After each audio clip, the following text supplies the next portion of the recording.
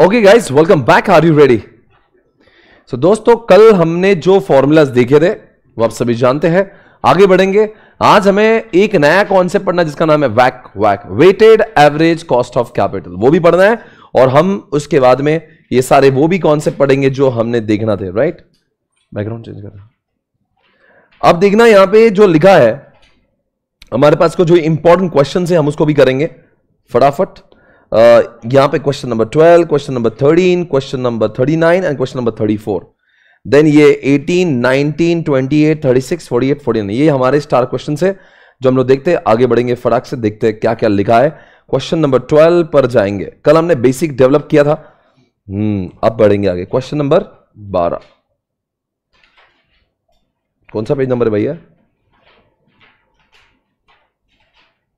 कौन सा page number है क्वेश्चन नंबर ट्वेल्व के लिए?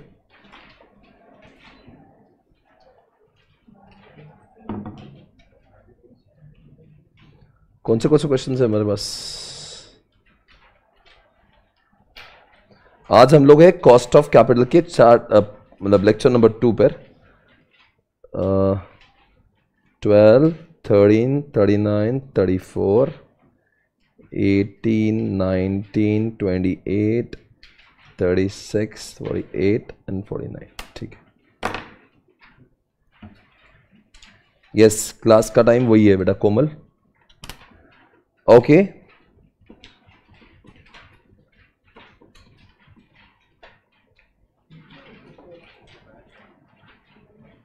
कुछ दिखा आपको पेज नंबर बारह, तेरह कुछ दिखा कहीं पे? मिला कौन से पेज थर्टीन कहाँ पे है? पेज नंबर दे दो मुझे. Eighty four okay page number eighty four पे आ जाइए. एटी फोर ओके ये वाला. तो दोस्तों, यहाँ पे लिखा है, इस क्वेश्चन को देखते पहले calculate the cost of capital of H limited whose risk free rate यानी कि आरएफ कितना है? तो ये आरएफ हो गया अपना ten percent everybody and the firms क्या लिखा है यहाँ पे? बीटा जिसमें हम लोग लगा रहे हैं, उसका बीटा है 1.75 and the return on the market portfolio यानी कि इसका आर एम जो है, वो है 15 परसेंट का। अगर मैं इसको फॉर्मूले में घुसेड़ दूँ तो क्या हो जाएगा? तो this is the formula right R F plus beta bracket के अंदर R M minus R F R F कितना है? आर एफ़ है टेन परसेंट तो ये दस परसेंट आ गया। Beta one point seventy five है मार्केट से रिटर्न आ रहा है फिफ्टीन और रिस्क फ्री का है टेन परसेंट यानी अगर हम लोग इसको देखते हैं तो आंसर आएगा eighteen point seventy five I think it's very easy question right but it is about ये क्वेश्चन का नाम है कौन सा अप्रोच है वैसे? इसको आप रियलाइज़ बोलते हैं या सी ए पी एम बोलते हैं? This is called as what C A P M approach okay next question thirty nine thirty eighteen nineteen में देख सकते हैं आप. Eighteen nineteen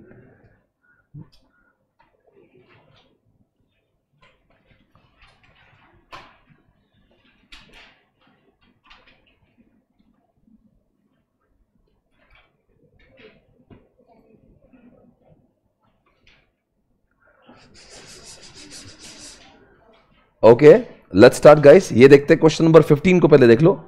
पेज नंबर हूँ 94 ओके यहाँ से देखते हैं दोस्तों, यहाँ लिखा calculate the cost of retain earning आपको रिटेन अर्निंग लेने की आपको के आर निकालना है। के आर और के आर मतलब के ही होता है। के आर मतलब के ही होता है। तो इसका मतलब क्या होगा? कि आपको यह करना है कि आपको के ही निकालना है। अगर आप के ही निकालो तो के आर तक तो पहुँच ही जाएँगे राइट एवरीवन है ना? तो यहाँ पे क्या निकालेंगे? Cost of retained earning D zero कितना है? 4.19 पी ज़ीरो कितना है? 50 ग्रोथ कितना है? 5 परसेंट फॉर्मूला बोलो, जल्दी से. D one upon P zero plus G D one कितना है? मालूम नहीं. डी ज़ीरो मालूम है. 4.19 को 5 परसेंट को ऐड करो, चलो. 4.19 प्लस 5 परसेंट कितना आएगा आंसर 4.39 और पी ज़ीरो कितना है? 50 प्लस कितना करेंगे? 5 परसेंट तो आंसर कितना आएगा? बोलो आंसर कितना आएगा? 13.79 दिस इज़ द आंसर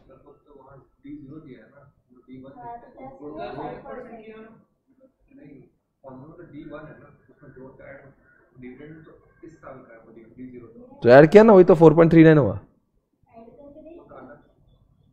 अलग से क्या अरे फोर पॉइंट वन नाइन है ना। उसमें फाइव परसेंट ऐड किया ना। क्या हो गया तुझे? हाँ तो अपने ख्यालों में राइट चलो, कोई बात नहीं। आगे, ख्यालों से बाहर आएँगे, आगे जाएँगे। दोस्तों, आगे बढ़ेंगे।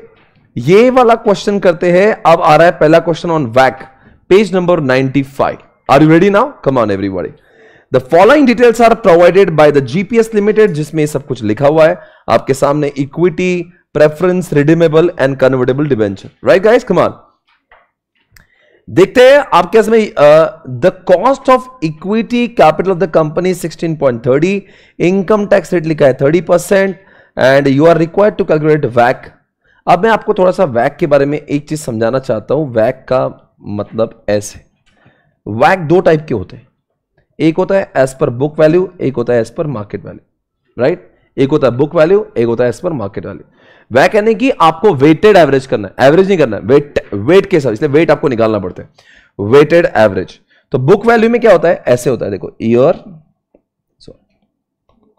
ईयर के अंदर हम क्या करेंगे source source amount weight rate वैक इधर भी आता है सोर्स अमाउंट वेट रेट वैक समझ आया? अरे बोलो। अब क्या होता है बताए? ये जो सोर्स होता है source could be equity debt और क्या होगा? प्रेफरेंस कुछ भी हो इधर भी आता है। इक्विटी डेट प्रेफरेंस पर याद रखना, जब मार्केट वैल्यू की बात करते हैं, यहाँ पे अगर मैं यहाँ पे डेट लेता हूँ, यहाँ पे प्रेफरेंस लेता हूँ, यहाँ पे इक्विटी यहाँ पे मैं रिज़र्व भी लेता हूँ। पर यहाँ पे मैं रिज़र्व नहीं ले सकता यहाँ पे रिज़र्व बिकॉज़ मैं किसके पॉइंट ऑफ़ व्यू से कर रहा हूँ? मार्केट वैल्यू बुक वैल्यू में रिज़र्व आते हैं मार्केट वैल्यू में नहीं आते। दूसरी बात बुक वैल्यू में हमेशा जो अमाउंट होता है, वो हमेशा बुक वैल्यू पे आते है। यहाँ पे जो आप लिखोगे ना, ये हमेशा बुक वैल्यू होगी। पर यहाँ पे जो अमाउंट आएगी, ये हमेशा मार्केट वैल्यू के हिसाब से आती है। समझ आए यहाँ पे हमेशा अमाउंट अब नाम में लिखा मार्केट वैल्यू तो मार्केट वैल्यू लेके। सपोज़ कोई शेयर मैंने दस रुपए में लिया था, और आज सौ रुपए हो गया।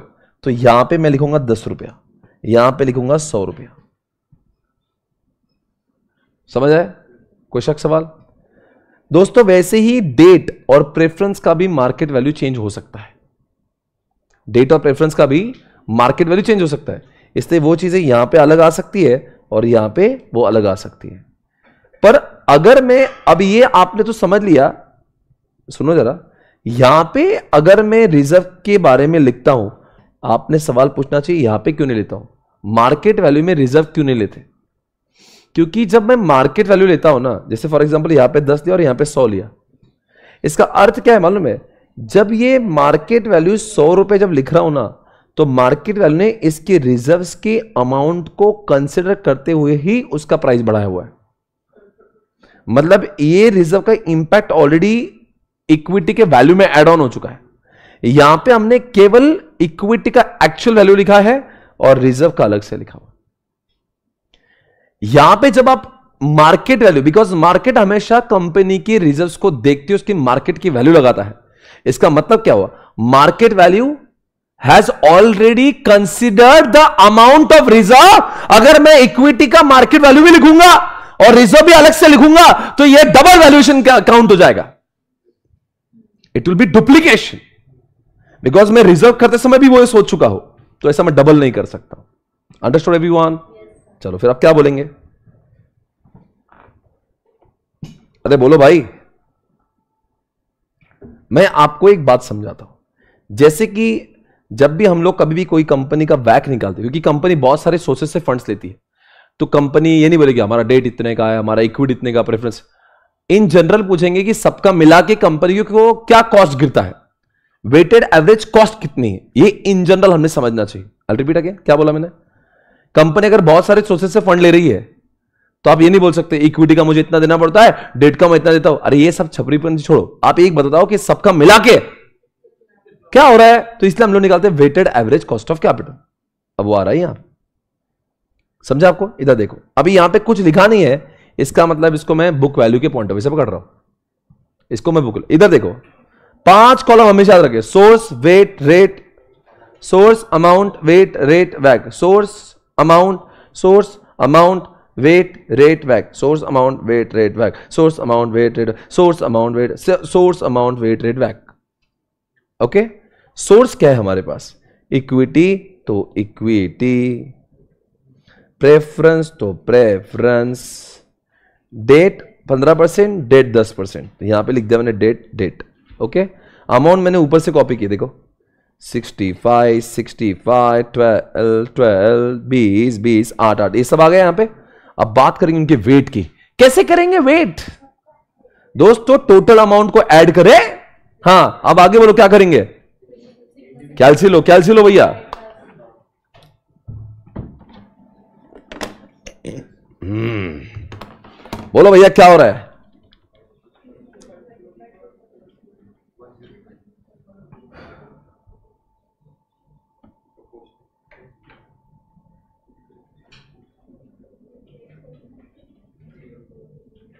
बोलो। अभी क्या है अपना टोटल क्या sixty five plus twelve plus twenty plus eight पूरा कितना है? वन ज़ीरो फाइव तो sixty five divide by one zero five percentage में आ रहा है sixty one point nine percent बराबर है? उसके बाद में twelve lakhs divided by one zero five answer कितना आएगा? ग्यारह पॉइंट बयालीस परसेंट लाइक दिस आपको सौ परसेंट मिलेगा। फिर आप क्या करोगे? इनका जो रेट है, वो रेट आपको ऊपर से कॉपी पेस्ट करना पड़ेगा। ये बारह परसेंट विल मैंने बारह परसेंट तो बारह को मैंने बारह ही लिखा है। सर ये फिफ्टीन को आपने साढ़े दस क्यों लिखा? Because one minus one bracket interest bracket में वन माइनस टैक्स होता है। तो आप जब 15 परसेंट दे रहे हो तो आपका 30 टका टैक्स बच रहा है। यानी एक्चुअल में आपका 15 माइनस थर्टी परसेंट तो 15 माइनस थर्टी परसेंट कितना होगा? साढ़े दस टका। जब भी मेरा पंद्रह टके जा रहा तो पंद्रह रुपए डेबिट होएगा। तो पंद्रह रुपए टैक्स से होगा ना। तो सौ रुपए पे टैक्स नहीं भरूँगा, मैं एटी फाइव पे टैक्स भरूँगा ना। अगर मेरी इनकम सौ रुपए होती और पंद्रह रुपए में इंटरेस्ट देता तो कितने पे टैक्स भरूँगा? एट्टी फाइव पे दूँगा। तो पंद्रह रुपए इंटरेस्ट की वजह से मेरा पंद्रह रुपए के ऊपर लगने वाला टैक्स से हो गया। यानी साढ़े चार रुपए मेरे टैक्स से हो गए। तो यानी कि साढ़े दस रुपए में दे रहा हूँ। तो इसलिए यहाँ पे मैंने साढ़े दस लिखा है। और दस का साथ लिखूँगा। हो गया। ये लिख दिया मैंने यहाँ पे। अब क्या होगा सबको मल्टीप्लाई मल्टीप्लाई मल्टीप्लाई करेंगे। हो गया। मल्टीप्लाई कर दो। अब क्या तो sixty one point nine multiplied by sixteen point three ये आ गया आपका दस पॉइंट आठ टका फिर बारह टक्के को मल्टीप्लाई करो ग्यारह पॉइंट फोर्टी टू परसेंट से।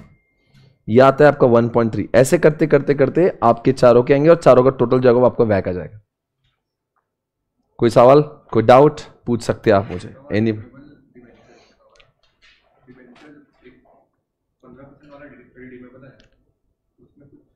कुछ नहीं कर सकते ना यहाँ पे, कुछ लिखा ही नहीं है तो क्या करेंगे?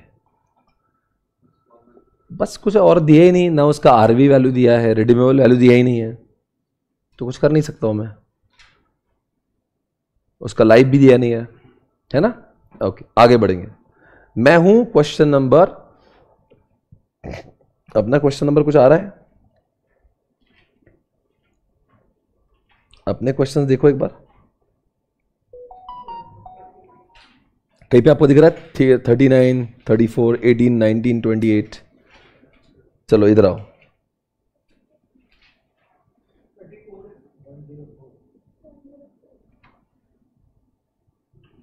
वन ज़ीरो फोर पे क्या है?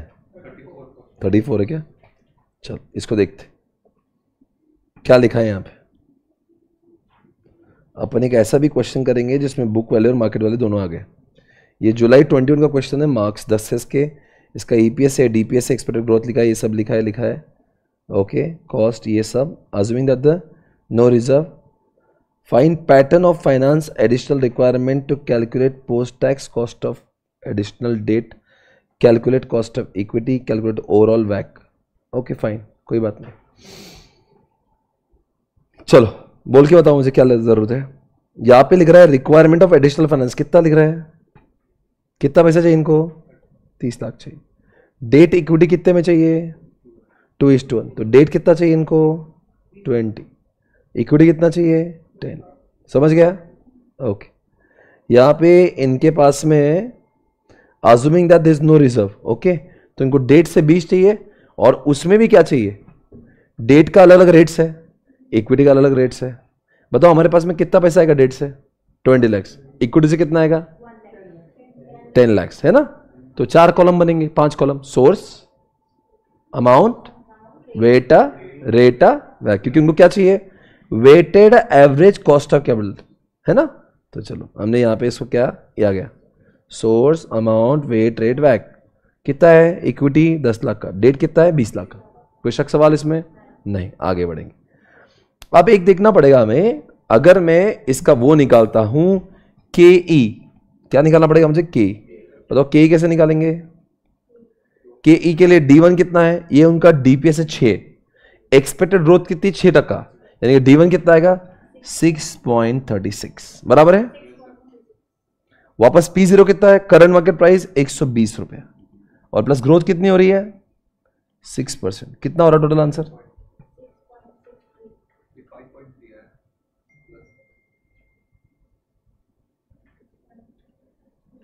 बोलो जल्दी।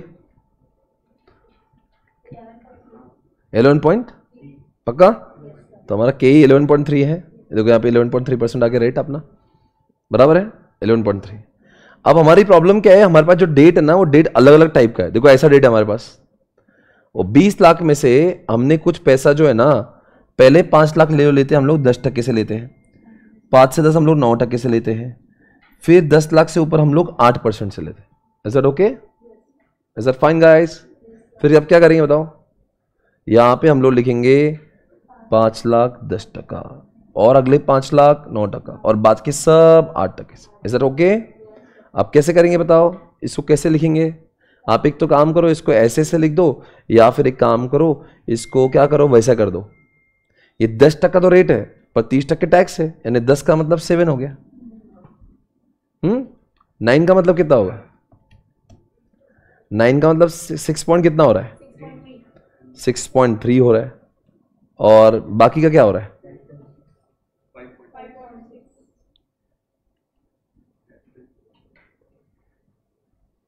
तो एवरेज कॉस्ट ऑफ़ कैपिटल कितना आएगा? अगर मैं आपको लो डेट का कॉस्ट बताऊँ तो कैसे बताओगे आप? बताओ मैं आपको करके। इधर देखो। अगर मुझे डेट का कॉस्ट निकालने का है तो मेरे पास डेट की टोटल वैल्यू कितनी है? ट्वेंटी लैक्स पर ट्वेंटी लैक्स के मेरे पास अलग रेट्स है। तो कैसे रेट्स होंगे देखो? ट्वेंटी लैक्स एक पाँच लाख, एक पाँच लाख। तो पाँच लाख मिला मुझे कैरेट से? बोल रहे भी नहीं? हाँ और बाद में पाँच लाख कितने से मिल रहे हैं? सिक्स पॉइंट थ्री से। और बाद के पाँच लाख नहीं, दस लाख कितने से मिल रहे हैं? फाइव पॉइंट सिक्स परसेंट कितना हो रहा है ये? थर्टी फाइव थाउज़ेंड हो रहा है क्या? हम्म। और कितना हो रहा है ये? फाइव लैक्स को मल्टीप्लाई करो। कितने से? सिक्स पॉइंट थ्री से। ओके ये आ रहा है थर्टी वन फाइव सिंपल है भाई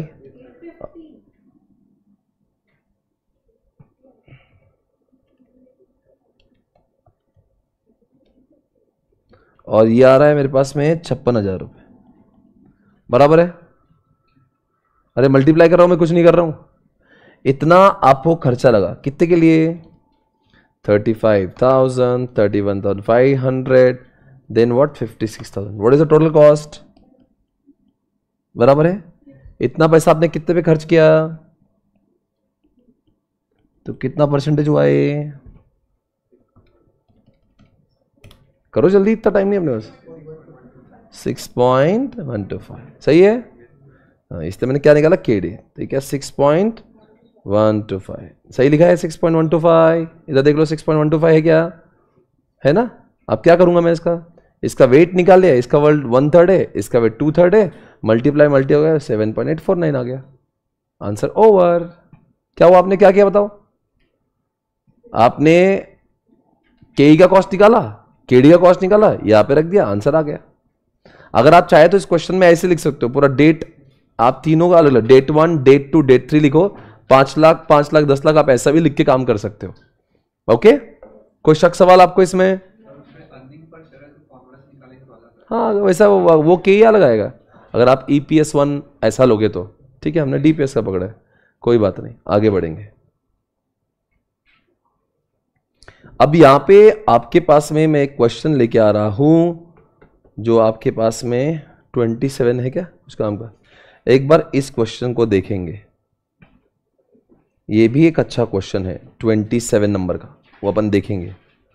बस एक पेज नंबर याद रखो, बस कौन सा है ये पेज नंबर वन इसको हम लोग देखेंगे, पर एक डिफ़िकल्ट नहीं है थोड़ा सा इजी क्वेश्चन लेके आगे बढ़ेंगे। ट्वेंटी एट वाला क्वेश्चन हमें देखना है okay before the new proposal and after the new proposal ये क्वेश्चन तो हमें करना ही है। अपने इतने सारे क्वेश्चन जो करेंगे, लगभग ऐसा हो जाएगा कि हमें सारे क्वेश्चन की, सारे कंसेप्ट की जानकारी। डोंट वरी ओके ना? कल्याणम लिमिटेड जो लोग लाइव स्ट्रीमिंग देख रहे हैं, आपको समझ आ रहा है, एक बार रिप्लाई कर दो जरा। कोई डाउट है तो पूछो मुझे। हम लोग करेंगे कल्याणम लिमिटेड।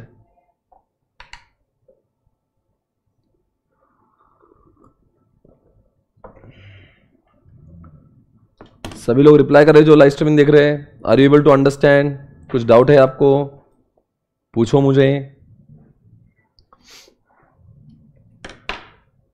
तानिया बोल रही यस सर सीटीआई बोल रहा क्लियर सर कोई प्रॉब्लम नहीं है। आगे वंशिका का बोल रही yes sir clear sir okay Komal कह रही, sir clear sir yes sir yes sir मेरा नाम है सेवन एम प्लीज़ ऐसा कैसा नाम है भाई तेरा? सागर झा. यस सर कोई प्रॉब्लम नहीं है। चलो ठीक है, इसका मतलब मैं आगे बढ़ सकता हूँ। सिद्धू कह रहा है, सर नो डाउट आप आगे बढ़ते रहो. मीत कह रहा है, सर ऑसम आशा कह रही यस सर ज़ीरो डाउट चलो, सबको किसी को भी कोई आपको कोई डाउट है भैया? कोई डाउट है? मैं चालू करूँ? ट्वेंटी एट क्वेश्चन आज हमारे पास में जितने भी क्वेश्चन होंगे ना बुक वैल्यू मार्केट वैल्यू मैं सारे टाइप के क्वेश्चन कवर कर लूँगा। आज आपको ऐसा लगा कि सब कुछ आ रहा है, ठीक है ना? Kalyanam limited has an operating profit thirty four lakh fifty thousand and has employed debt which gives total interest charge of seven lakh fifty thousand the firm has an existing cost of equity and cost of debt sixteen यानी कि इनका K D के ही दिया हुआ है। The firm has new proposal before it which requires fund of seventy five lakhs rupees इनको और चाहिए and expected to bring additional profit वो जो सेवेंटी फाइव लैक्स नए जो लाएँगे ना, उसकी वजह से उनको चौदह लाख पच्चीस हज़ार का प्रॉफिट होने वाला है। To finance the proposal the firm expecting to issue an additional debt अब ये इतने सेवेंटी फाइव लैक्स का फंड लाने के लिए, उनके पास में एडिशनल डेट उनको आठ टक्के से बाज़ार में मिल सकता है।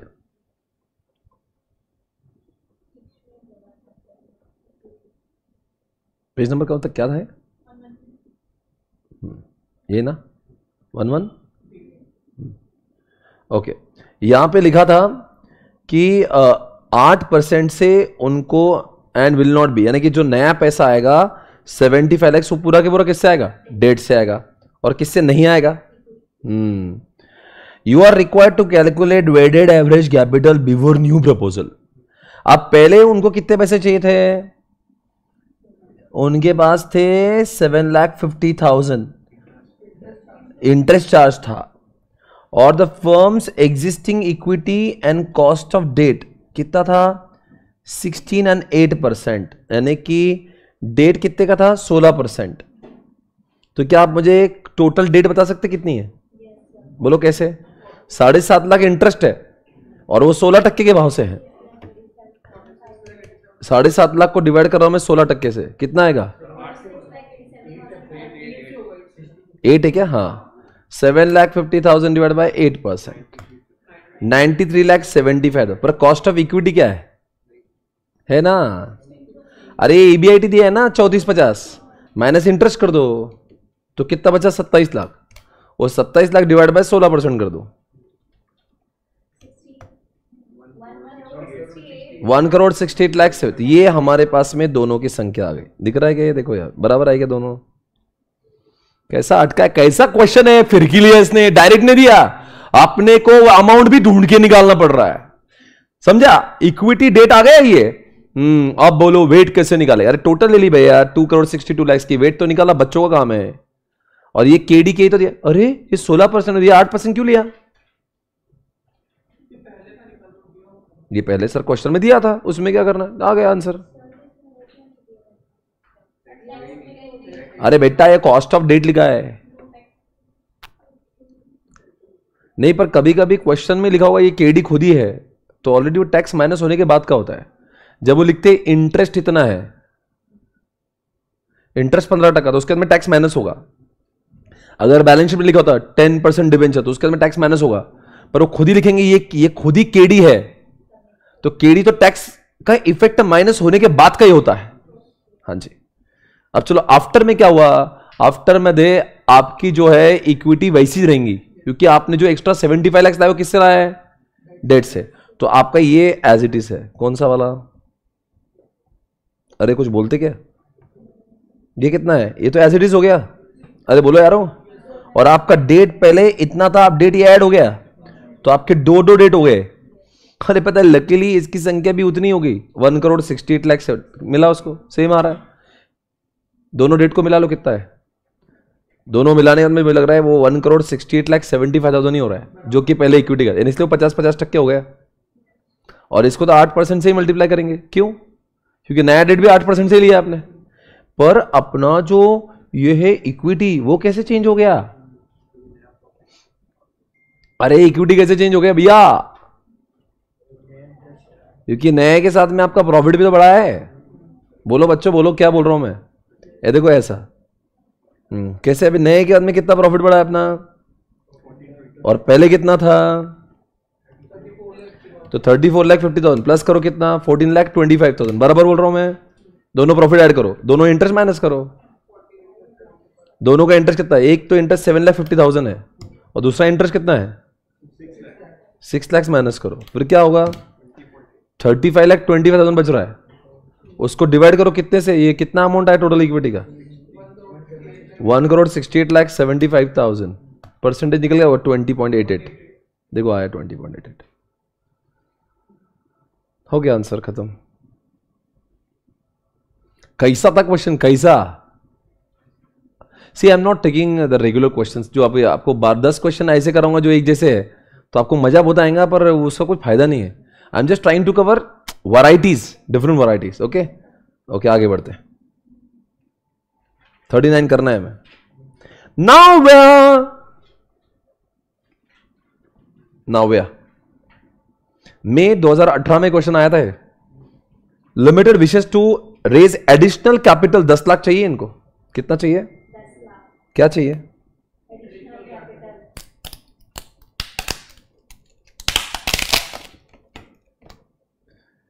एडिशनल कैपिटल दस लाख रुपए okay and it has a plan it is a plan it has a three lakhs क्या है? In the form of retained earning उनके उसमें तीन लाख रुपए ऑलरेडी है। यानी कि उनको चाहिए थे दस लाख रुपया। अरे तीन लाख चाहिए थे भैया उनको?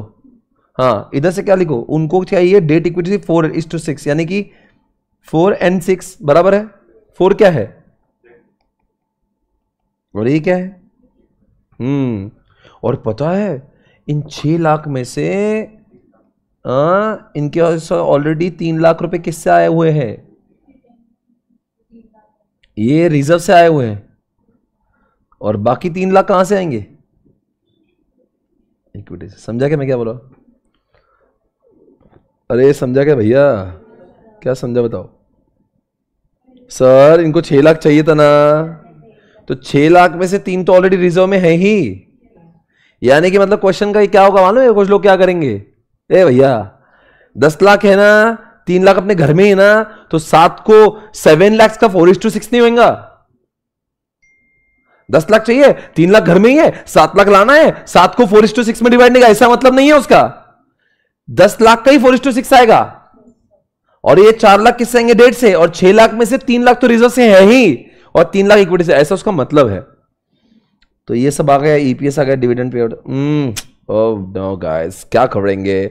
बस कुछ नहीं, वैक निकालना है। बताओ बच्चों, वैक कैसे निकालेंगे? वैक निकालने के लिए आपके इसमें पाँच कॉलम होना चाहिए। सोर्स अमाउंट वेट रेट वैक सोर्स दो, तीन तीन सोर्स है।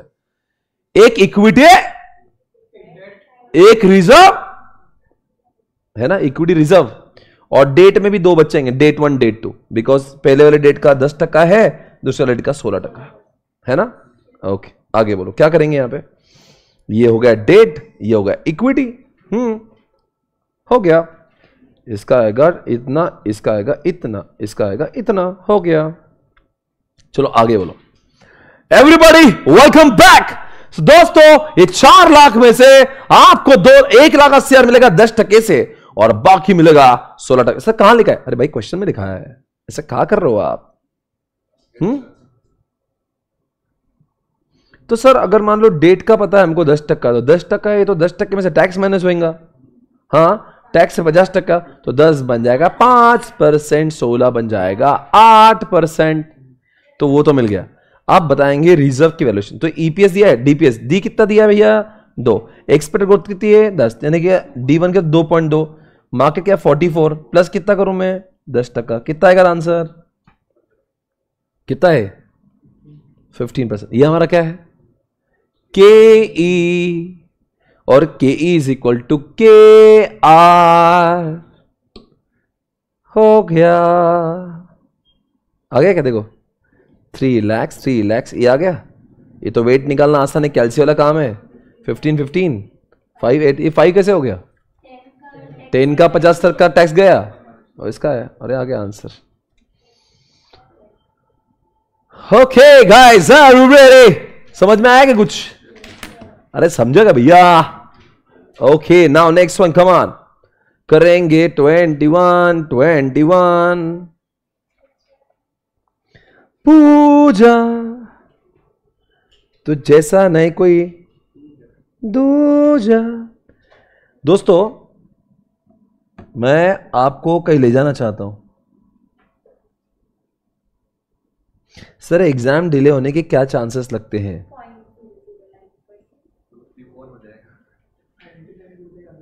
क्या आपको क्या लगता है भाई? इसका क्या जवाब दू? एग्ज़ाम कब है? तीन मई से। और इलेक्शन कब है? तो लेट ही होगा ना फिर एग्ज़ाम तो। क्यों? आईसीआई की वजह से सेंट्रल इलेक्शन लेट हो जाएँगे। They are very smart they know how to play around पता है इस क्वेश्चन में क्या है? आपको बुक वैल्यू से भी करना है और मार्केट वैल्यू से भी करना दोनों तरीके से करना पहली बार ऐसा संजोग आ रहा है जिसमें बुक वैल्यू और मार्केट वैल्यू दोनों से भी करना है। क्वेश्चन एक है आंसर दो आएँगे। है ना? आप बताओ ना बच्चों, वो पाँच पॉइंट्स कौन से कौन से? सोर्स अमाउंट वेट रेट बैक ऐसा दो बार करना पड़ेगा। ये देखो, ये करेंगे बुक वैल्यू से, ये करेंगे बुक वैल्यू है, ये मार्केट वैल्यू राइट एवरीवन चलो, क्या करेंगे? सोर्स कितना बताओ? सोर्स में सब नाम दो। Equity preference retain debenture term loan book value में तो सब आएगा। पर जब आप मार्केट वैल्यू बोलोगे इन पाँच में से एक चीज़ नहीं आएगी। रिटेन अर्निंग राइट तो पहले बुक वैल्यू कर लेते बुक वैल्यू में सारे rate as it is fifteen one twenty ten साढ़े बारह, इन सबको एज इट इज़ यहाँ पे लिख दो ना। हो गया? लिख दिया? सर, कुछ भी बदलाव नहीं। बेटा बुक वैल्यू क्वेश्चन में बुक वैल्यू दिया है। इनके वेट निकालना तो बच्चों का काम है, वो भी निकालेंगे आप। आप रेट देखेंगे रेट कैसे निकालते rate can you please tell me guys rate कैसे निकालेंगे? चलो, सबसे पहले टर्म लोन का रेट बताओ। पंद्रह टके में से माइनस टैक्स करो, चालीस टका। कितना हो गए नौ परसेंट हो जाएगा। ये कितना है? साढ़े पंद्रह टका है क्या? साढ़े तेरह है? डिबेंचर कितना है? थर्टीन पॉइंट फाइव माइनस क्या करेंगे? माइनस चालीस टक्का कितना आएगा ये? रिटेन अर्निंग तो उधर से निकाले प्रेफरेंस कितना आएगा भैया? वो ग्यारह विल रिमेन ग्यारह? नहीं। हाँ हाँ हाँ। आपको केपी निकालना पड़ेगा। बिकॉज़ वहाँ पे रिडीमेबल है। देखो यहाँ पे लिखा है रिडीमेबल लाइफ कितनी? दस साल है। करंटली सेलिंग प्राइस कितना? सेवेंटी फाइव है। Debenture redeemable after six years और सेलिंग एट क्या लिखा है? हे रिडीमेबल टेन ईयर्स का। अच्छा ये यहाँ तक ये सीमित है ये डिबेंचर आ गया। ओके फाइन ठीक है, बोलो बच्चों केपी का फॉर्मूला क्या है? पीडी पीडी कितना है? ग्यारह। प्लस आर वी हंड्रेड और आज कितना मिला हमारे हाथ में? सेवेंटी फाइव पच्चीस का नुकसान हुआ कितने साल में? दस सालों में। और ये hundred plus seventy five divide by two बोलो रे आंसर कितना भैया? अरे करो, जल्दी यारो अरे करो यारो। आंसर आ रहा है fifteen point forty three book में। सर मैंने सारा बना लिया। Very good Aakriti. Fifteen point four three चलो, केडी बताओ, केडी। एक्सपेक्टेड नहीं नहीं, केडी किधर है? रिडीमेबल आफ्टर सिक्स ईयर्स और सेलिंग एट एटी तो यानी क्या आएगा? केडी डिबेंचर कितना भैया? 15.5 minus one minus tax plus बोलो, क्या आएगा? आरवी कितना है आरवी हंड्रेड हाथ में पैसा कितना आया? एटी, बीस, किससे डिवाइड करूँ मैं इसको? अरे किससे डिवाइड करूँ मैं इसको? अरे कितने साल का है ये? और ये आएगा नाइनटी आंसर बोलो कितना आएगा? केडी का आंसर कितना? Twelve point? देखो आंसर उनका सही है क्या? Twelve point seven. Come on come on everybody twelve point seven percent ready ना? ओके अब दोस्तों बात करेंगे के के के में क्या लिखा है नेट एक्सपेक्टेड यानी कि अगले साल का एक्सपेक्टेड यानी कि अगले साल का। सुनो, एक बात मैं कह देना चाहता हूँ आपको बार बार इसको लेकर हम लोग बात नहीं करेंगे। इसको डी वन मानते इसको D zero expected next year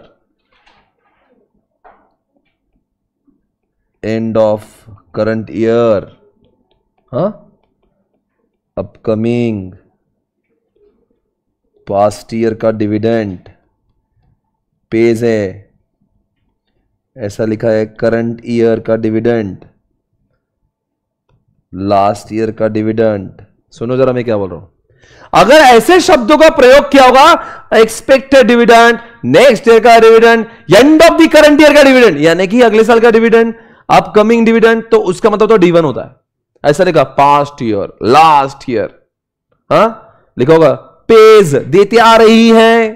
Current year last year past year ये सारे शब्द डी ज़ीरो के लिए होते दिमाग में डाल दो इसको।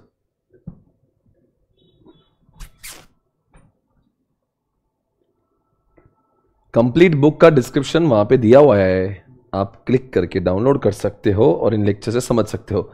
आगे पढ़ेंगे। एवरी बड़े अरे बोलो भैया, समझ आया क्या? मंडे के दिन will be start with new chapter जिसका नाम हुआ may be capital structure okay चलो, आगे बढ़ जाऊँ मैं? अरे, कुछ तो बोलो। शुड आई प्रोसीड चलो लेट्स प्रोसीड अपना वो बताओ रे भाई थ्री पॉइंट सिक्स तो इसका वो है। So K is equal to D one D one three point six P zero कितना है? मार्केट प्राइस फोर्टी की। और जी कितना है? जी कितना? सेवन परसेंट बोलो कितना? सोलह? सोलह परसेंट। सर, आपने सबने क्यों निकाला? अरे बेटा, ये जो फॉर्मेट दिया था ना, उसमें आ गया ना, सोलह सोलह आ गया। सर, सोलह सोलह कैसे आ गया? अरे के भी उतना है तो के आर भी उतना है। प्रेफरेंस का तो आपने निकाला डेट आपने निकाला आंसर आ गया वैक का। वैक हो गया। बताओ मार्केट वैल्यू से कैसे करेंगे? बोलो मार्केट वैल्यू अब मार्केट वैल्यू में आपके सोर्स वाले कॉलम में एक हट जाएगा, जिसका नाम देखो इधर इक्विटी प्रेफरेंस रेट कौन सा हट गया? रिटर्न तो रिटर्न हट गया। अब देखते हैं उसकी अमाउंट अमाउंट में चेंजेस हो गया। अब क्या अमाउंट कौन सा लेना पड़ेगा? मार्केट वैल्यू से। इधर देखो इधर देखो स्क्रीन पे। ये बोल रहा है दस रुपए का एक है। अब पंद्रह करोड़ है और दस रुपए का एक, यानी कितने शेयर से डेढ़ करोड़ शेयर से डेढ़ करोड़ शेयर से और उसका भाव क्या चल रहा है? चालीस। दस का चालीस हो गया। तो डेढ़ करोड़ को अगर चालीस से मल्टीप्लाई किया तो साठ करोड़ आता है। तो मैं अमाउंट में लिख दूँगा सात करोड़। देखो मैंने सिक्सटी करोड़ लिख दिया। सही है?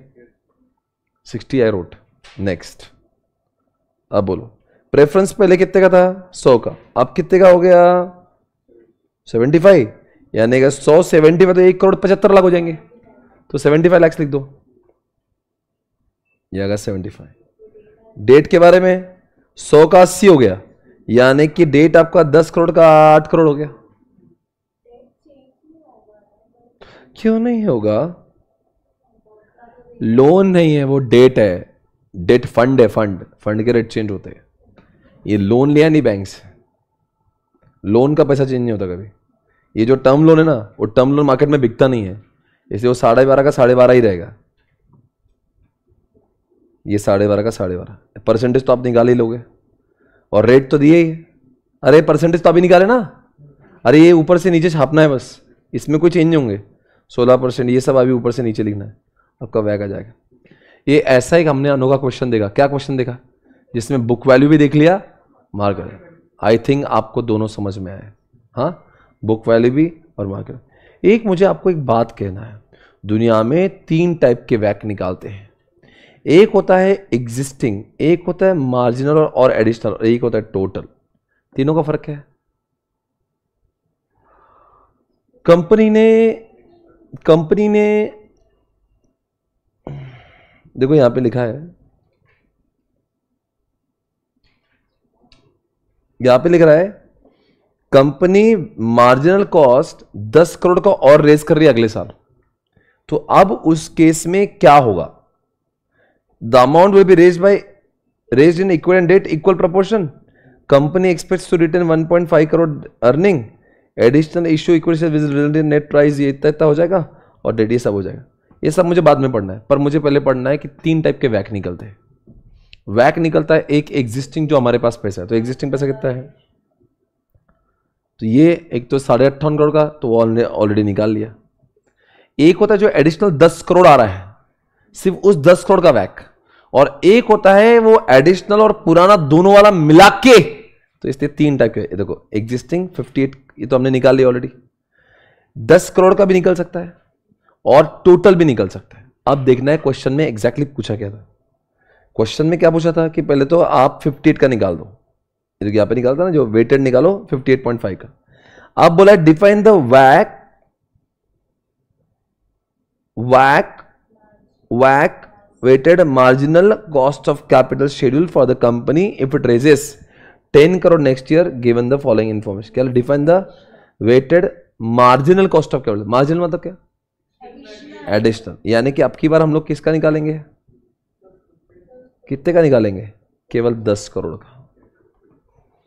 अगर वो बोलता है टोटल का निकालो तो मैं 68.5 यानी कि दोनों अमाउंट को लिख लिख के निकालता पर अभी उसने क्या बोला है? अभी उसका क्या आएगा? उसके अंदर क्या क्या बोल रहा है? कैसे निकाला? दस करोड़ कहाँ से लाया उसने? इसलिए आपको ये पैराग्राफ पढ़ना पड़ेगा। बोल रहा है इक्विटी और डेट का इक्वल प्रपोर्शन है। आपको तो पाँच करोड़ कहाँ से लाना है आपको? डेट से। और पाँच करोड़ कहाँ से लाना है? और उस पाँच करोड़ में भी बोल रहा है, ढाई करोड़ ऐसे आता है और ढाई करोड़ वैसे आता है। तो डेट आएगा ढाई ढाई, और बाकी क्या आएगा? इक्विटी और रिज़र्व तो वो बोल रहा है रिज़र्व में हमारे पैसे डेढ़ करोड़ ऑलरेडी पड़े हुए हैं। तो हमारे पास रिज़र्व है 1.5 का इक्विटी साढ़े तीन का, और डेट ढाई और ढाई का है। ये देखो यहाँ पे लिखा हुआ देखो यहाँ, बराबर है? देखिए रिज़र्व उनके इसमें उनको पहले तो पाँच पाँच से ना उनको दोनों आधा आधा चाहिए। तो उनको डेट उनको ये जो है ना डेट ये पाँच करोड़ का चाहिए और ये पाँच चाहिए। तो इनको तो ऐसा रेट दिया है two point five two point five की दोनों का अलग रेट्स है। Reserve already one point five दिया है, ये साढ़े तीन दिया हुआ है। वेट तो आपको समझ ही जाएगा। अब क्या करेंगे बताओ? वो डेट के सामने किसको लिखेंगे देख लो। डेट का रेट क्या चल रहा है? एक का पंद्रह टक्का है और एक का सोलह टक्का है। टैक्स का रेट चालीस परसेंट है। तो पंद्रह में से चालीस टक्का गया तो नौ टक्का और सोलह में से चालीस परसेंट गया तो कितना आता है? तो ये आ गया। देखो यहाँ पे। दोनों को मल्टीप्लाई कर दिया। अब बात करेंगे इक्विटी की। क्या बोला मैंने? इक्विटी इक्विटी कैसे निकालेंगे? वो बोल रहा है कि अब जो इक्विटी है ना आपका, ये प्राइस हो जाएगा आपका थर्टी टू यानी कि आपका ये हो जाएगा P zero thirty two growth कितना है? सेवन परसेंट ही रहेगा। और आपका क्या बोल रहा है वो?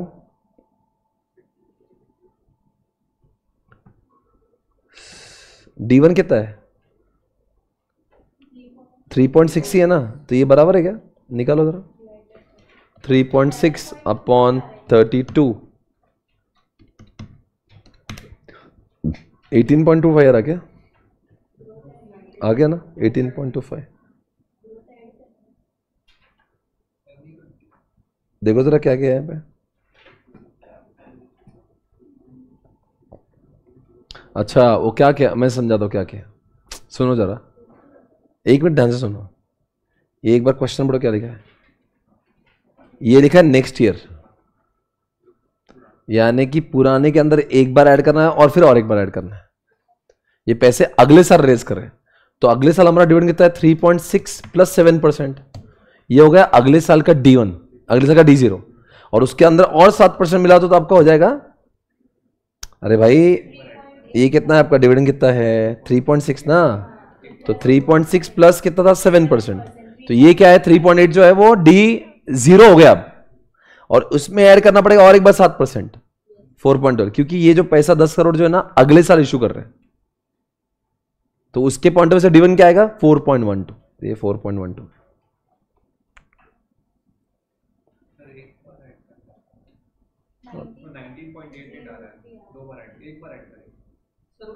नहीं नहीं डी डी वन कितना है पहले वाला? अच्छा यही एक्सपेक्टेड है। ओके फाइन हाँ। हाँ ये ऑलरेडी एक्सपेक्टेड था। 3.6 ऑलरेडी डी वन था। तो उसके अंदर एक ही बार ऐड करना है। तो 3.8 तो है। 3.852 डिवाइड करेंगे उसके मार्केट प्राइस से कितना मार्केट प्राइस है? डिवाइड बाय थर्टी टू हो गया। और ये कुछ तो 12 पॉइंट कुछ आ रहा है प्लस सात। तो 19.03 आ रहा है। तो ये 19.03 आपका इक्विटी आ रहा है। पर इसमें याद रखो दोस्तों, ये ऐसा एक अनोखा क्वेश्चन है, जहाँ पे K R is not is equal to K E क्यों मालूम है? बोलो क्यों? नहीं?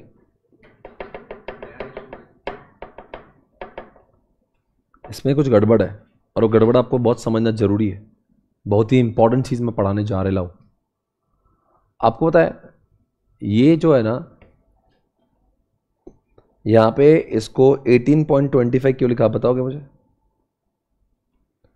Why this is coming 18.25 reserve. 18.25 कहाँ से आया? क्या आप मुझे उसका खुलासा दे सकते हो? हाउ कम 18.25 यहाँ पे आ रहा है? 18.25 कहाँ से आया ये?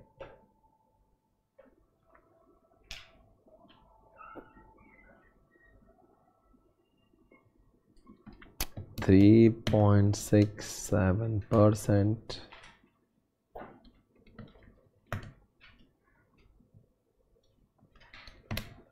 बोलो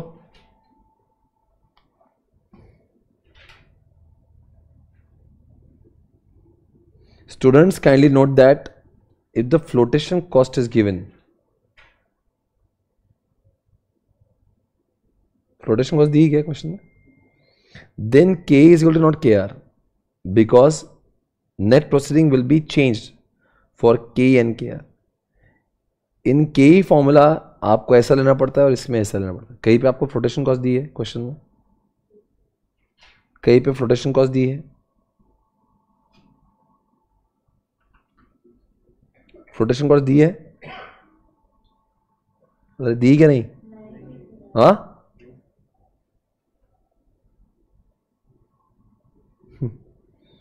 बोलो जल्दी। मैं आपको एक क्वेश्चन दिखाता हूँ जहाँ पे ऐसा होता है। एक मिनट आपको बहुत ही इंटरेस्टिंगली समझना पड़ेगा।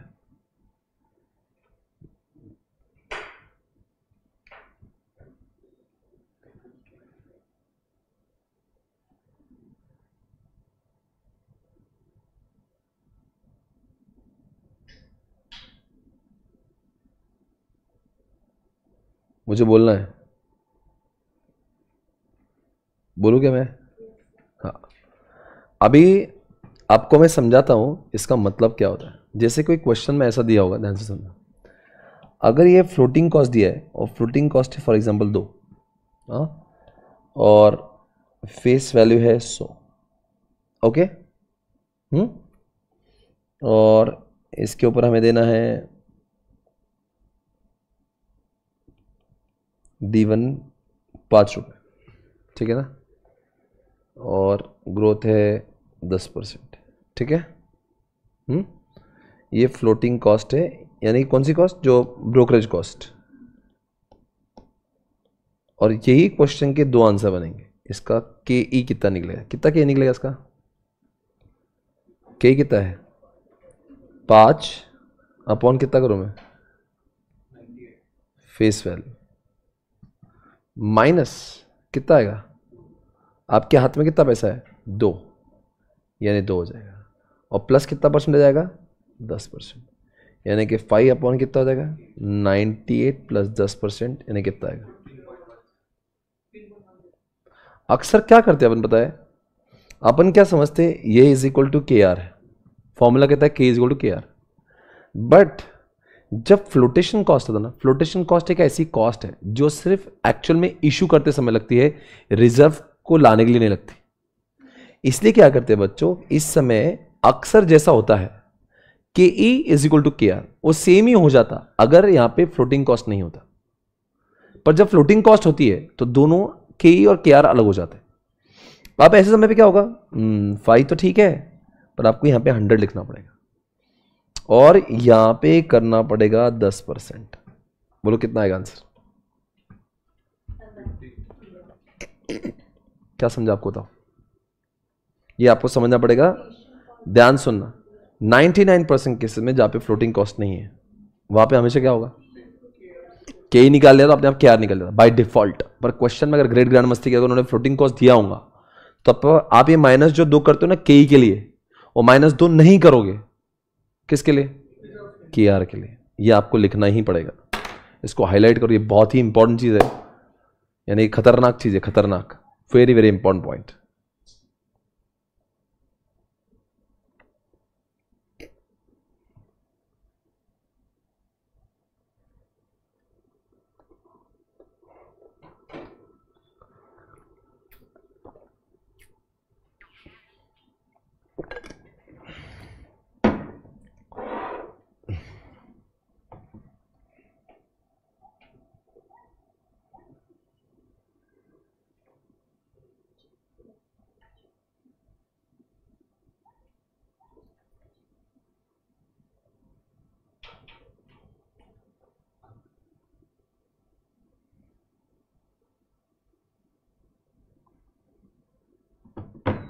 समझा?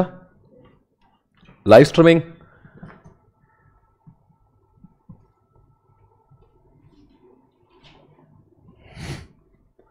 कोई डाउट है, पूछ सकते हैं मुझे? Any doubt please do ask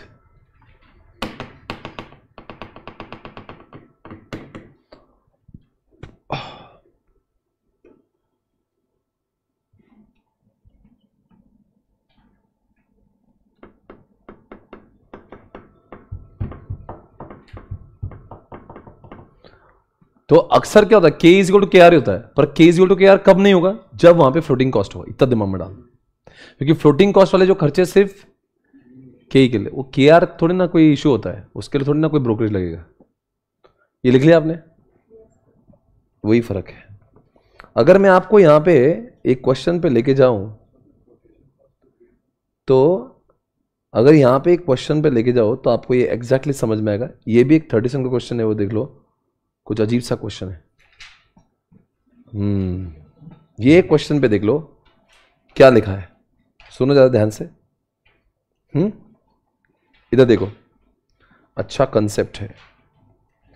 कभी आपने ये सुना है what do mean by ex dividend dividend मिलता है कि नहीं मिलता उस पर एक्स डिविडेंड पे मतलब मिलता नहीं। तो the ordinary shares are currently priced at thirty nine ex dividend preference shares are priced at 18 come dividend the debentures are selling this this ये लिखा है x interest the applicable tax rate ऐसा लिखा है इतना cost of ये देखो बच्चों क्या लिखा है यहाँ पे ध्यान से देखना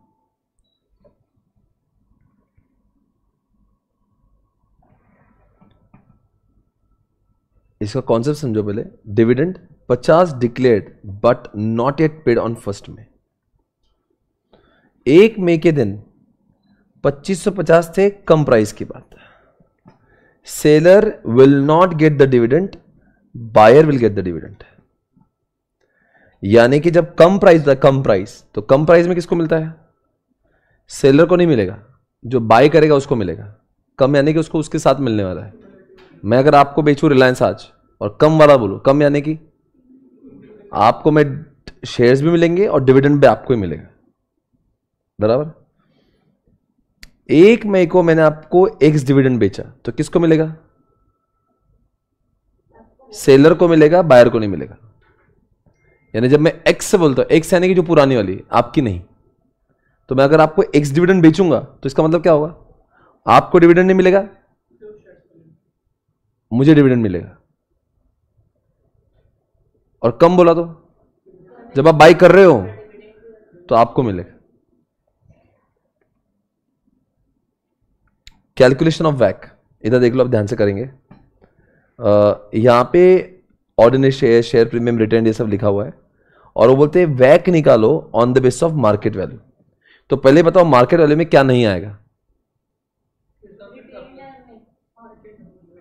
रिजर्व्स नहीं आएँगे। पक्का नहीं आएँगे? तो क्या आएगा फिर? सब आएगा ना? प्रेफरेंस भी आएगा डिबेंचर भी आएगा, सब आएगा। इक्विटी कितनी है? ये तो नहीं आएगा। और शेयर प्रीमियम भी नहीं आएगा। ऑर्डिनरी शेयर्स कितने हैं? पाँच लाख। के पर मार्केट वैल्यू क्या चल रहा है? मार्केट वैल्यू कितना चल रहा है? थर्टी नाइन एक्स डिविडेंट है। है ना? The debentures are selling this applicable tax rate इतना thirty percent and K D cost of equity has been estimated nineteen percent कोई बात तो दोस्तों, यहाँ पे लिखा है one lakh fifty thousand thirty nine. इसका मतलब क्या हुआ? थर्टी नाइन क्यों लिया मैंने? अक्सर हमेशा एक्स डिविडेंड पे ही हम लोग को करना पड़ता है। इसका मतलब क्या होता है? एक्स का मतलब क्या होता है? एक्सक्लूडिंग डिविडेंड यानी कि मतलब जब एक्स करता हूँ मैं, जब मैं एक्स डिविडेंड की बात करता हूँ तो हमेशा बायर को डिविडेंड नहीं मिलेगा, किसको मिलेगा? तो इसलिए यहाँ पे company currently price thirty nine ex dividend तो बिल्कुल सही, जैसा चाहिए हमें, वैसा ही होता है। हमेशा हमें क्या, किसकी तलाश होती है? एक्स की तलाश। हमें कहाँ पे पहुँचना कम बोला तो हमें कहाँ पे पहुँचना पड़ता है? एक्स में आना पड़ता है। तो कितना हुआ? आपका कितना शेयर से? फिफ्टी थाउज़ेंड मल्टीप्लाइड बाय कितने से करूँ? थर्टी नाइन तो कितना आंसर आएगा ये? कितना आंसर आएगा? बराबर है? अब थोड़ा सा देखो यहाँ पे क्या लिखा है? प्रेफरेंस प्रेफरेंस शेयर से प्राइस डेट कितना लिखा है? एटीन कम डिविडेंड प्रेफरेंस कितना है यहाँ पे? एट परसेंट लिखा है और ये चार लाख लिखा है। चार लाख अमाउंट लिखी है। हम्म और फेस वाले कितनी है? पच्चीस की। तो ये क्या हुआ?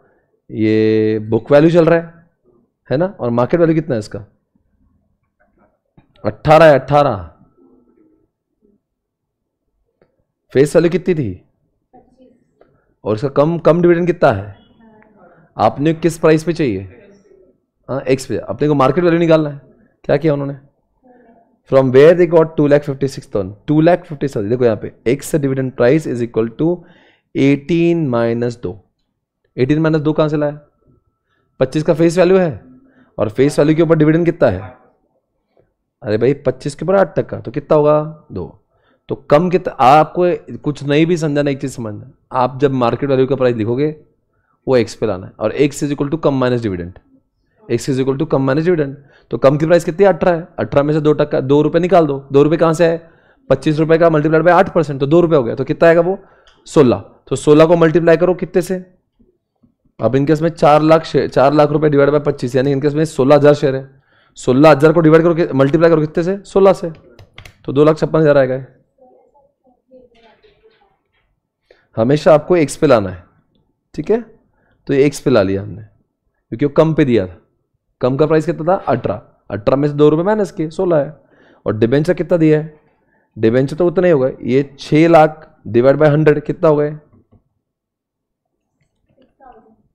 तो सिक्स थाउज़ेंड सिक्स थाउज़ेंड का मल्टीप्लाई कितना प्राइस है उसका? वो ऑलरेडी एक्स इंटरेस्ट है। एक सौ बीस है। तो एक सौ बीस को मल्टीप्लाई कर दो। सात लाख बीस हज़ार है। कुछ नहीं समझाना भाई। इतना बात याद रखो। मैं आपको समझाता हूँ। सुनो। इधर देखो मेरे पास। एक बात समझो। आपने साल भर शेयर संभाला है। मैं आपसे अगर बाय करूँगा तो डिविडेंड का हकदार आप है क्या मैं आप हो बिकॉज़ आपने संभाला। तो आप जब भी मैं बाय करूँगा I will be entitle no I will never be entitle to get क्या? तो इसलिए क्या होता है? आप हमेशा मुझे एक्स बेचोगे। आप सेलर हो। आपने होल्ड किया तो आपका डिविडेंड आपको ही मिलना चाहिए। तो मुझे एक्स की वैल्यू मिलना चाहिए मुझे अगर मैं बायर हूँ तो। बीस रुपए का कम वाला वैल्यू और अठारह रुपए का उसका अठारह रुपए का प्राइस है और दो रुपए डिविडेंड है। तो जब मैं बाई करूँगा तो मैं तो मेरे लिए तो अठारह बिकॉज़ अगर मैं बीस ले भी लूँगा तो दो रुपए मुझे मिलना नहीं चाहिए। इतना बात याद रखो, अगर कुछ नहीं चाहिए लॉजिक नहीं समझ में आ रहा तो इतना ये याद रखो कि कम जब लिखाऊँगा तो उसको एक्स पे लाना है। आप जब भी मार्केट वैल्यू का कॉलम लोगे तो it has to be ex और एक्स के लिए एक ही काम करना था, कम माइनस डिविडेंड बाकी कुछ दिमाग मत लगाओ, ठीक है ना? I think it's over guys sir, इसमें क्या करना पड़ेगा? अब कुछ करना ही नहीं भैया इसमें। इसका वेट तो दिया हुआ है और रेट तो आप निकाल ही लेंगे। इसमें यही पॉइंट इंपॉर्टेंट था। ओके फाइन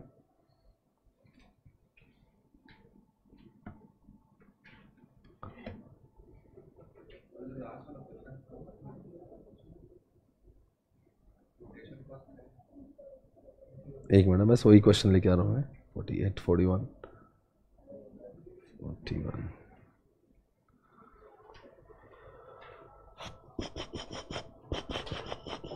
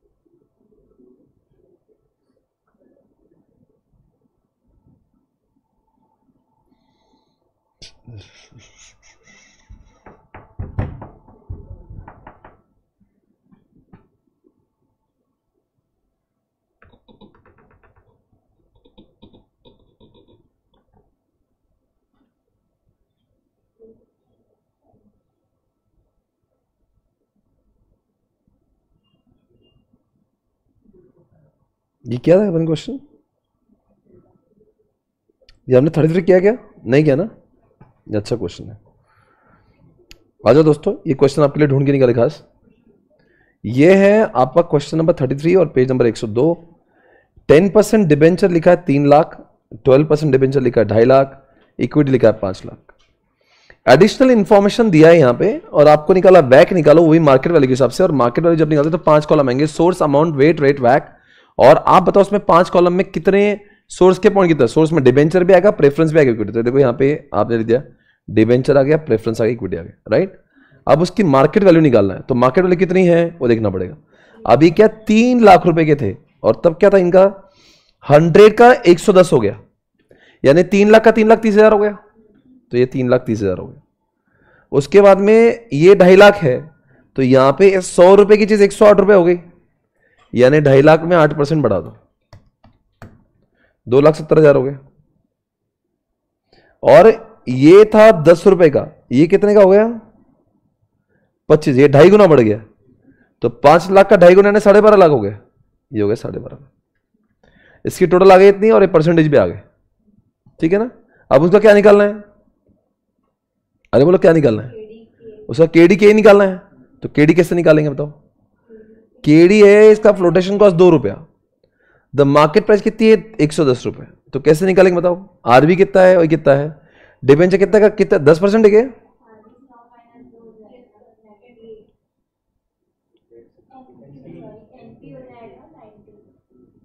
कौन सा पेज है यार?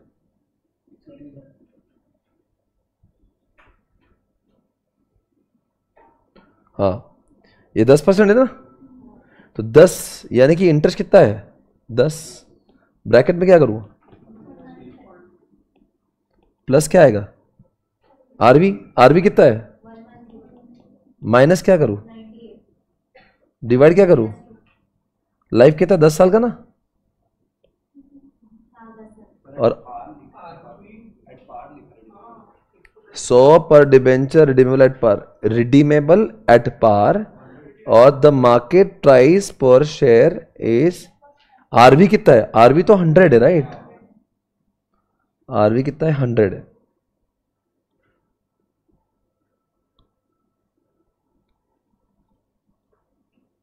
हमें फ्यूचर में कितना देना है उसको? रिडीमेबल एट पार लिखा है ना? हम्म। यानी कि आपको फ्यूचर में सौ रुपए देना है। आज अपने हाथ में कितने पैसा है? एक सौ दस आया है ना? और माइनस कितने करेंगे? दो रुपए फ्लोटेशन कॉस्ट हाथ में कितने पैसे आए एक सौ दस माइनस दो आए।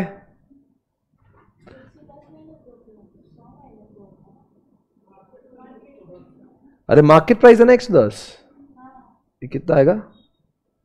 मार्केट प्राइस कितना है? हाँ। सुनो, ध्यान से एक बात देखते आपने जब इशू किया था, वो इशू क्या था? सौ रुपए में और रिडीम भी करना है कितने में? पर सिर्फ़ मार्केट प्राइस उसकी इतनी है। तो मार्केट प्राइस उसको क्या करेंगे? ये तो मार्केट प्राइस तो मार्केट प्राइस के लिए लिख देंगे। तो अपना आरवी कितना है? जो मैंने इसके पहले बोला था, वो गलत बोल रहा था। तो ये कितना हुआ? हंड्रेड यानी आपका रिडीमेबल वैल्यू हंड्रेड है। और आज आपके हाथ में कितने पैसे आएगा? सौ माइनस दो आए। तो नाइनटी बताओ। ठीक है। ये सब हो गया। तो इसका आंसर आया सेवन पॉइंट टू वन अब यहाँ पे बता दो कितने पैसे है प्रेफरेंस सौ पर प्रेफरेंस रिडीमेबल एट कितना? थ्री परसेंट प्रोटेक्शन कॉस्ट बताओ, आपके इसमें सौ रुपए की चीज़ कितने में आपने नाइनटी सेवन रुपीज़ आपके तो आपका एनपी नाइनटी सेवन आएगा। और आपका रिडीम जब करोगे तो कितने में रिडीम होगा? सौ रुपए रिडीम होगा। बराबर है? और ये मार्केट प्राइस क्यों दिया होता था कि वो मार्केट प्राइस का जो वैल्यू है उसके लिए आता है? ठीक है ना? तो आप बताओ इसका कितना आएगा केपी सो केपी आने के लिए क्या करना पड़ेगा आपको? आपको ये बारह करना पड़ेगा। बारह। हाँ। आरबी कितना है? आज हाथ में कितना है? डिवाइड बाय कितना करूँ? और होल अपॉन कितना करो?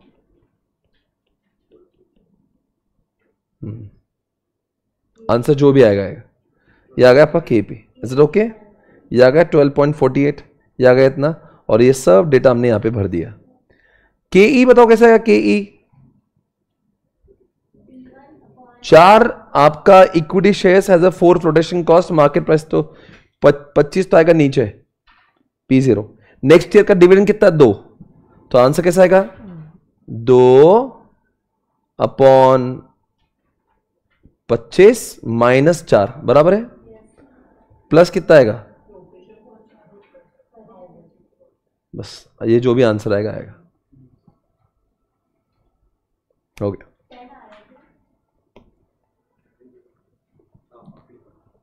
बस ये डालना है उसमें। आ गया आपका आंसर।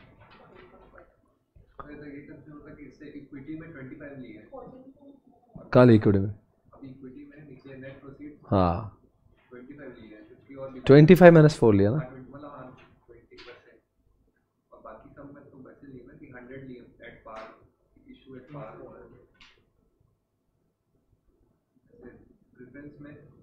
शेयर शेयर मार्केट में जब हम लोग कभी भी कोई इक्विटी इशू करते हैं तो वो कभी भी फेस वैल्यू पे थोड़ी ना करते।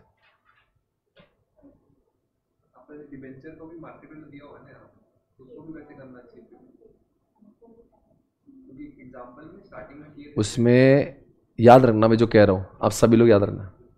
एक बहुत भारी बात बता रहा हूँ। जब आप नेट प्रोसीडिंग करते हो तो कभी कभी कंफ्यूजन होता है मार्केट प्राइस क्या ले? मतलब एनपी क्या ले? अगर वो चीज़ सौ की एक सौ दस रुपये में बिक रही है और उतने पैसे उनको रियलाइज़ हुए तो आपने, जैसे मैं अगर ऐसा बोलूँ तो आप ध्यान रखना, बहुत अच्छा काम का बोल रहा हूँ। अगर मान लो इसकी फेस वैल्यू सौ रुपये और कंपनी उसके रियलाइज़ किए रियलाइज्ड एक सौ दस रुपये तो आपका एनपी हो जाएगा एक सौ दस। अगर मान लो आपका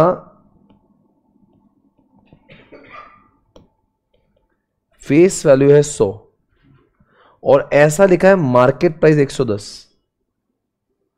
तो फिर भी नेट प्रोसीडिंग सौ आएगा। ऐसा लिखा होगा फेस वैल्यू सौ sold at sold and realized sold and realized 90 तो आपका नेट प्रोसीडिंग 90 माना जाएगा। मार्केट सुनो ध्यान से। एमआरपी बोर्ड लगाया हुआ है, बाहर। दुकान के बाहर बोर्ड लगाया यहाँ पे जो गाड़ी है, वो चार करोड़ में मिलेगी। आपने दुकान में जाके उसका सौदा क्या बार्गेनिंग किया तीन करोड़ में लाई। तो ये market price is like you know having board but actually market price और सेल दोनों सेम नहीं होते। Market price is like MRP कि इतने में है। पर बिकी थोड़ी ना, अगर मार्केट प्राइस सौ में भी लिखा पर बिकी 110 में तो 110 एक्चुअल वैल्यू है, जो आपका नेट प्रोसीडिंग है। नेट प्रोसीडिंग मतलब क्या? आपके हाथ में कितने हैं? भाव कोई भी कुछ भी बोलता है, उतने में बिका गया। अब जैसे सौ रुपए की चीज़ है बिकी कितने में? 90 तो आपके लिए नेट प्रोसीडिंग क्या आएगा? मार्केट प्राइस क्या लिखी वो इंपॉर्टेंट नहीं। व्हाट इज़ इंपॉर्टेंट कभी कभी ऐसा हो सकता है मार्केट प्राइस भी उतनी और सेल भी उतनी में हो। तो फिर दोनों का एनपी सेम ही आएगा नेट प्रोसीडिंग समझ आया मैं क्या बोल रहा हूँ? वो थोड़ा कंफ्यूजन हो सकता है आपको, वो थोड़ा we have to be very शातिर इनफ टू अंडरस्टैंड कि क्या, कैसे लैंग्वेज से खेलेंगे। पर एक्चुअल में मतलब क्या है? मतलब अगर आप जो, कोई अगर आपको रियल लाइफ में जब ये एनपी का मतलब जानना है, कितने में एक्चुअल में बेचा गया? ये क्या करते हैं? ऐसे वाले जानबूझ के लैंग्वेज से खेलते हैं और जो मुझे पसंद नहीं है। नेट प्रोसीडिंग का मतलब क्या है? कितने में एक्चुअल में बिका? सब कट पिट के ब्रोकरेज जाके डिस्काउंट जाके मेरे हाथ में, कितना है वो होता है नेट प्रोसीडिंग राइट लॉजिकली सोचो राइट अब वो शब्दों से लेंगे मार्केट प्राइस 110 है सेल 98 में हुआ है तो इंसान कंफ्यूजन में आता है करना क्या है? तो ये क्या है? शब्दों से गेम करते हैं आपका। उसने क्लियरली बोलना चाहिए था, भले ही मार्केट प्राइस सौ की थी, पर बिका नब्बे में तो नब्बे लेना चाहिए। एक बार, चाहे कोई भी शब्दों से, अपना बेसिक प्रिंसिपल एकदम दिमाग में होना चाहिए कि नीचे एनपी लेना है, और एनपी का मतलब क्या है? कट पिट के एक्चुअल में हाथ में, वो मार्केट में 500 का है, पर क्या 500 हाथ में? बिका कितना? सौ में ना तो सौ लिख। मार्केट प्राइस का मतलब नहीं होता। व्हाट इज़ एक्चुअल मतलब रियलाइज्ड कितना हुआ? What is more important realized इसीलिए एनपी में हमेशा रियलाइज्ड वर्ड को ढूंढते हैं। पर कभी कभी क्या करता है, ऐसे जानबूझ के ऐसे शब्दों में ट्विक करती है ना तो इंसान कंफ्यूजन में आता है, अरे यार, ये लेके बोले। तो उस समय पे आपको बोलना चाहिए, अगर आपको नहीं समझता एजम्पन डालना चाहिए कि मुझे लग रहा है इन भाषाओं को देख के ये मार्केट प्राइस इतना है और एक्चुअल में पैसे मिले इतने हैं। इसलिए मैं ऐसा दे रहा हूँ। ये मेरा अजम्पन अंडरस्टैंडिंग है। क्या होता है कभी कभी शब्दों से खेल रहा है इसे कंसेप्ट से नहीं खेल रहा है। उन्होंने क्या लिखना चाहिए? क्यों तुम बच्चों का दिमाग का दही कर रहे हो? आप लिख दो ना भाई एक्चुअल में हाथ में इतने पैसे आए। What is more important logic क्या है? हाथ में कितने पैसे आए? एनपी का मतलब था नेट प्रोसीड नेट प्रोसीड हाथ में कितना पैसा आया? अब तो फिर मार्केट प्राइस कितने का? फिर आप बोलेंगे, फिर मार्केट प्राइस क्यों दिया होता है? मार्केट प्राइस इसलिए देते ताकि वो मार्केट प्राइस वाला कॉलम बनाए। कभी कभी ऐसा हो सकता मार्केट प्राइस भी सौ रुपए और बिका भी सौ रुपए तो मार्केट प्राइस का इस्तेमाल क्यों मार्केट प्राइस क्यों दिया होता है? ताकि अब वो सेकंड कॉलम भरे। और अपना हमेशा जब उसका एक्चुअल में अपन वो के डी के और के पी निकालते ना, उस समय पे क्या करना चाहिए के डी के लिए और के पी के लिए? जो नेट प्रोसीडिंग यानी कि एक्चुअल पैसा जो रियलाइज़ हुआ, वो देखना चाहिए। कंसेप्चुअल क्लैरिटी है? ओके आई थिंक गाइस हमने ऑलमोस्ट सारे वैरायटी के क्वेश्चंस देख लिए हैं। डन विद दिस चैप्टर बहुत सारे क्वेश्चन की बहुत सारे बहुत सारे।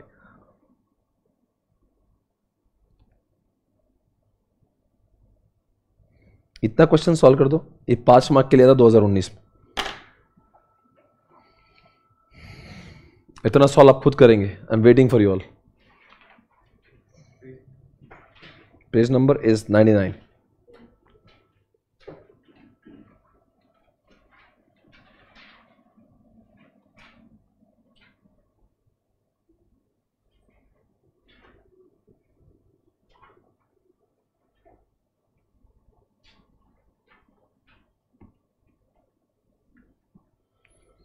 ये सॉल्व कर पाएँगे, देखो।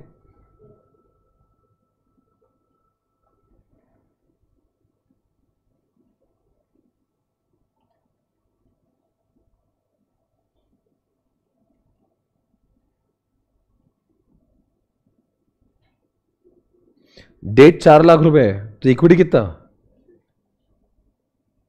अरे दस लाख चाहिए ना? दस में डेट कितना है? तो इक्विटी कितना है? तो सोर्स की कॉलम में क्या आएगा? इक्विटी आएगा छह लाख और डेट के भी दो बच्चे बना दो। बिकॉज़ डेट दो लाख के लिए अलग रेट है और डेट दो लाख के लिए अलग रेट है। तो मुझे लगता है सोर्स में तीन तीन चीज़ें आएगी। एक इक्विटी और डेट वन आएगा और डेट टू आएगा। अमाउंट कैसे आएगी? छह लाख, दो लाख दो लाख। छह लाख, दो लाख दो लाख। परसेंटेज कैसे आएगी? साठ परसेंट, बीस परसेंट बीस परसेंट। अब लिखा दो के डी के डी कैसे आएगा भैया? दस टक्का लिखा है। दस में से टैक्स जाने दो। तो सात आएगा और दूसरे कहते पंद्रह में से तीस जाने दो। साढ़े दस टका। और के ही कितना आएगा? डिविडेंड पे आउट कितना है? तो चार का पच्चीस टका यानी कि एक है। एक है डिविडेंड और ग्रोथ कितनी है? दस टका, यानी वन पॉइंट वन हो गया। हाँ? डिवाइड बाय कितने से करो? पचास? प्लस कितने से करो?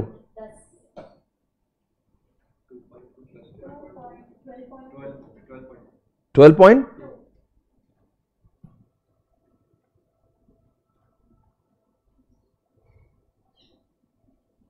ये आ गए। और ये आंसर आएगा। टेन पॉइंट एटी टू एक बार देख लो। आ रहा है ना? ऐसे क्वेश्चन आएँगे। पाँच मार्क के लिए क्वेश्चन पूछा था। Are you finding this difficult I think आपको सारे के सारे कंसेप्ट अभी बहुत अच्छे से क्लियर है। एक क्वेश्चन बच्चा हमेशा पूछते था अगर डीपीएस भी दिया और ईपीएस भी दिया है तो डीपीएस से भी के ही निकाल सकते हो। DPS one oblique P zero भी कर सकते हो, या EPS one oblique P zero दोनों भी चलता है, आपको जो एजम्पन ले सकते हो। दोनों के भी आंसर आई में सजेस्टेड में होते हैं। ओके जब भी कभी कोई बातों से, कोई शब्दों से कंफ्यूजन लगे तो अजम्पन लेने में हिचकिचाना नहीं। डायरेक्टली डोंट से कि यही सही है। आप बोलो कि मुझे लगता है कि ये इसका मतलब ये इसलिए मैं एजम्पन मान रहा हूँ। You can have two answers for the same question okay घबराने का नहीं। कभी कभी लैंग्वेज ही वो होती तो अपने को समझता नहीं कि क्या करना चाहिए।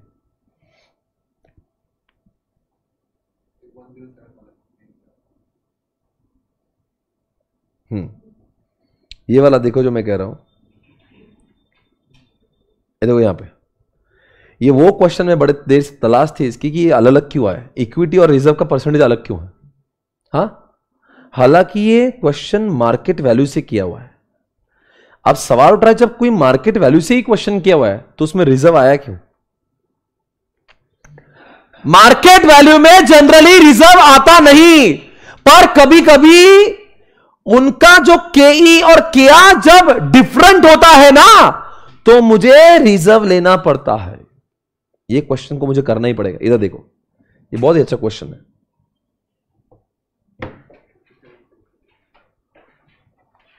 दो मिनट चीज़ें हम्म।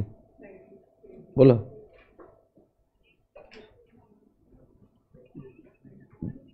दो मिनट दो मिनट, कॉल करो, दो मिनट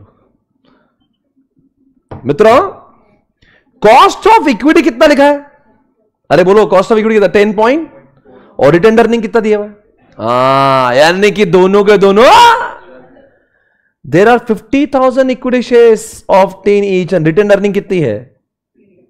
पंद्रह लाख। है ना? तो इसका मतलब क्या होना चाहिए? मार्केट प्राइस दी पचास की, यानी पचास हज़ार को दस से मल्टीप्लाई करने के बदले अब आपको पचास हज़ार को पचास से मल्टीप्लाई करना पड़ेगा। बराबर कह रहा हो कि नहीं?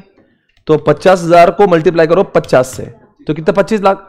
तो आप 25 लाख ही लिखना चाहिए अपने एक्चुअल में, अगर आप और रिज़र्व को इग्नोर करना चाहिए। और 25 लाख को कितने से मल्टीप्लाई करना चाहिए? ये डायरेक्ट 10.41 से मल्टीप्लाई करना चाहिए। देखो, ऐसा करना चाहिए नहीं? देखो देखो, ऐसा होना चाहिए, देखो, मैंने जानबूझ कर ये इनकरेक्ट है। 25 लाख और 10.41 ऐसा करना चाहिए आपने। अरे बोलो यार, पर ये गलत है।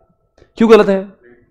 क्योंकि दोनों के रेट अब आपको क्या करना पड़ेगा, ये 25 लाख 25 लाख ही रखना है, पर 25 लाख के दो पार्ट में डिवाइड करना है। 25 का कुछ कुछ आएगा इक्विटी में, कुछ कुछ आएगा रिज़र्व में। और सर, वो कैसे डिसाइड होगा कुछ कुछ कितना? बच्चों, पहले कैसा था? ये पाँच लाख था और ये पंद्रह लाख था। क्या पाँच लाख और क्या पंद्रह लाख? अरे रिज़र्व पंद्रह लाख था ना। तो ये क्या रेशो में आते हैं दोनों? ये वन टू थ्री में आते हैं। तो आप क्या करो, ये पच्चीस लाख का वैल्यू पच्चीस लाख ही रखो। इसको वन टू थ्री में डिवाइड करो। यानी कि सवा छह लाख और अठारह लाख पचहत्तर हज़ार। बराबर है? देखो, छह लाख पच्चीस हज़ार और अठारह पचहत्तर। बराबर है? मैंने इस अमाउंट को पच्चीस का देखो इनकरेक्ट में भी पच्चीस ही था और इधर भी पच्चीस मैंने क्या सिर्फ़ वो पच्चीस को पच्चीस ही रखा है। सिर्फ़ उसको ब्रेक डाउन किया है। कई लोगों को लग रहा हो मैंने रिज़र्व लिखा, मैंने रिज़र्व नहीं लिखा है। मैंने पच्चीस लाख को, मैंने पच्चीस लाख प्लस पंद्रह लाख नहीं लिखे अरे वो पचास हज़ार मल्टीप्लाई बाय पचास का वैल्यूशन पच्चीस लाख ही है ना। तो अभी भी मैंने पच्चीस लाख ही रखा है। मैंने पच्चीस लाख प्लस पंद्रह लाख नहीं लिखे सिर्फ़ मैंने पच्चीस लाख को ही दो पार्ट में डिवाइड किया है। और वो क्यों किया है? बिकॉज़ ये मल्टीप्लीकेशन वाला जो फिगर वाला जो रेट है ना, वो दोनों का अलग है ना। अगर दोनों का रेट सेम होता ना तो मैं 25 लाख को 25 लाख ही लिख के मल्टीप्लाई बाय 10.41 कर देता।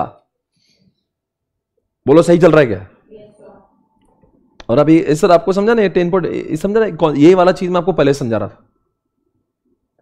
कि जब भी क्या क्या नहीं जल्दी से बताओ के आर और के अलग होंगे तो आपको लिखना है वही वैल्यू जो मार्केट वैल्यू ऑफ़ इक्विटी है पर उसको ब्रेक सर अगर मान ले तो अरे क्या बहुत कुछ फ़र्क नहीं पड़ा है। इसका answer ten point forty one आ रहा था, इसका पॉइंट टेन पॉइंट कितना आ रहा है? दस पॉइंट दस। ये जो थर्टी का फ़र्क पड़ा है ना, वो इसलिए बिकॉज़ यहाँ पे हमने इसको दस टक्के से मल्टीप्लाई किया और इसको टेन पॉइंट फोर्टी वन से किया। वो इसलिए वो तीस पैसे का फ़र्क आया। Did you understand this this was the question I was searching for तो दिस चैप्टर और गाइस आई होप आप बाकी सारे क्वेश्चन आप लोग करेंगे रफ्तार की बुक से, अच्छे से करें, सभी क्वेश्चन सॉल्व करें। एवरीबडी कोई शख्स सवाल? कोई भी डाउट है तो मुझे आप पूछ लेना। Okay guys thank you so much take care bye bye Monday को मिलेगी एक नए चैप्टर के साथ में. ओके मंडे ठीक. हम लोग शाम में मिलेंगे सवा पाँच बजे. Thank you so much take care bye bye I will see you for the next chapter okay take care bye bye चालू हो गया यार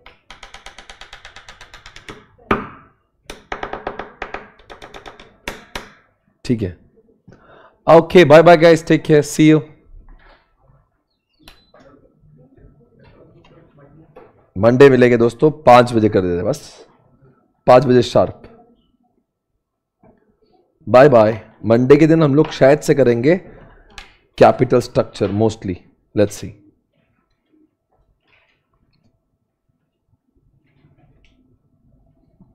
thank you guys take care bye